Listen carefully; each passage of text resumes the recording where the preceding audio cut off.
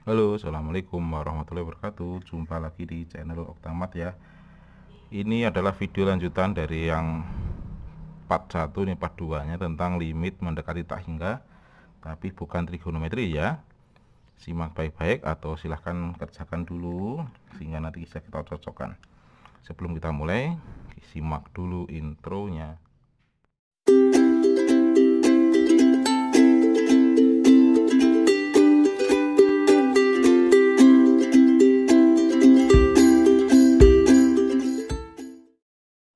ya, kita coba di sini. Nah, kalau berupa limit seperti ini, biasanya kita harus merubah ke model ini, yaitu limit x mendekati tak hingga. Itu modelnya adalah fungsi kuadrat di akar, yaitu ax kuadrat plus bx plus c dikurangi akar px kuadrat min plus qx ditambah r. Biasanya ini nanti kita gunakan adalah cara cepatnya yaitu B dikurangi Q dibagi 2 akar A. Kapan kita gunakan rumus ini? Apabila kita menemukan A itu sama dengan B. Oke ya B min Q per 2 akar A. Apabila nanti menemukan A sama dengan B. A dan B itu adalah A kuadrat sama B kuadrat. B min Q per 2 akar A. Itu ya. Yuk sekarang kita coba nomor satu di nomor satu sini adalah 3x 3x itu masih di luar kurung otomatis kita harus kali dalam sini. Ya 3x kita kali dalam sini sehingga kalau kita kali kan berubah seperti ini. Nah nih cuma karena ini pindah ke dalam kurung maka tidak boleh kamu langsung 3x dikali 9 tapi ini harus kita kuadratkan. Logikanya adalah seperti ini.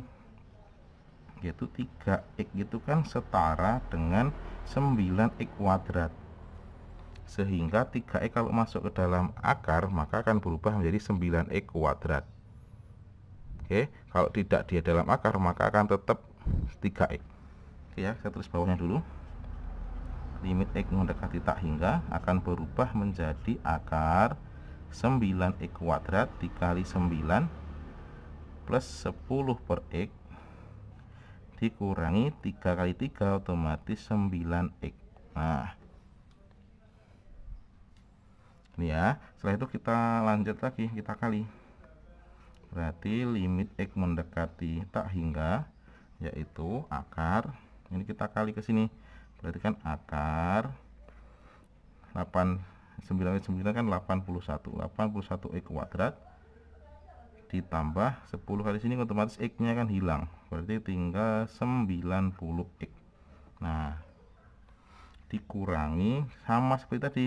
Ini akan berubah seperti ini. Dengan konsep tadi harus sesuai dengan limit x mendekati hingga berupa akar dalam kurung fungsi kuadrat semua. Sehingga ini otomatis akan berubah menjadi kita kuadratkan 9x pangkat 2 kurung. Berarti limit x mendekati tak hingga sehingga berarti akar 81 x kuadrat ditambah 90 x kuadrat. Dikurangi akar 81 E kuadrat. Nah gini. Oke ya baru kita cari lewat rumus cepat tadi karena nilai A dan P kan sama. A sama P kan sama 81 sama 81 cuma di sini kan tidak lengkap sehingga kita ambil aja ini adalah A ini adalah P ini adalah B Q nya adalah 0 sehingga tinggal kita masukkan ke rumus cepatnya tadi. Berarti B min Q per 2 akar A. Berarti 90 dikurangi 0 dibagi 2 akar 81 berarti 90 dibagi 9 kali 2 adalah 18 sehingga hasilnya adalah 5 nah itu. Oke ya seperti itu. Kita lanjut ke soal nomor 2 dengan konsep yang sama ini kan belum bentuk fungsi kuadrat harus sama seperti ini maka kita kuadratkan sama persis dengan model seperti ini tadi.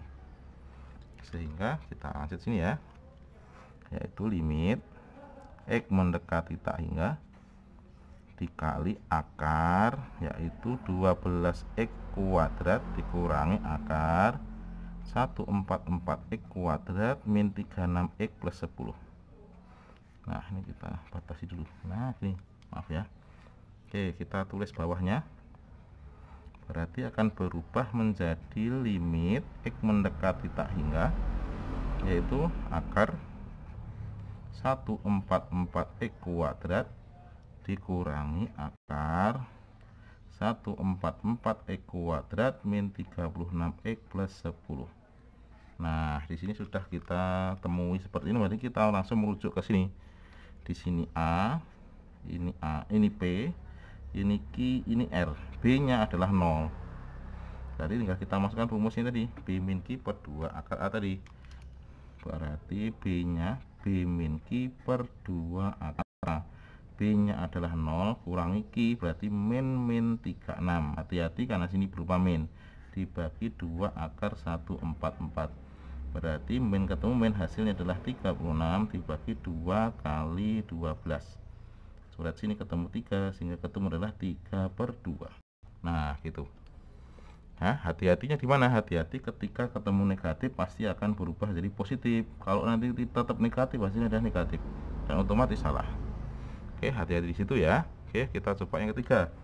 Nah, di sini ini belum berupa akar, eh belum kita kurung, maka harus kita rubah kurung dulu. Berarti limit x mendekati tak hingga yaitu akar x kuadrat plus 3x plus 2 min buka kurung x min 2 nah plus jadi min. Kenapa? Karena min ketemu min hasilnya adalah plus. Tinggal kamu tambahi kuadrat terus di akar. Nah biar sama seperti ini tadi. Tinggal kita ganti berarti limit x mendekati tak hingga akar x kuadrat plus 3x plus 2 dikurangi akar kita kuadratkan kan ketemu x kuadrat min 4x plus 4 jangan lupa pakai apa? Pakai a min b kuadrat yaitu a kuadrat plus bx plus 2AB maaf plus 2AB plus B kuadrat. Nah ini. Jika nanti ketemu ini. Kalau sudah seperti itu tinggal kita ambil ABC tadi.